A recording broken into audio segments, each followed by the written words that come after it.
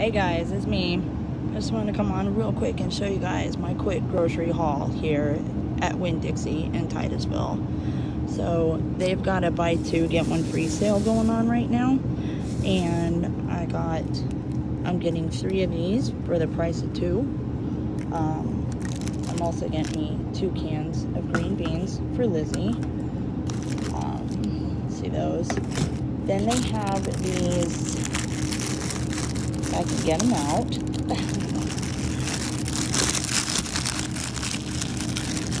These are 250.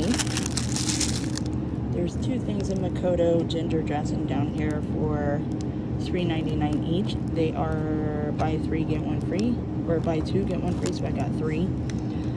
I've got one zucchini and one yellow squash.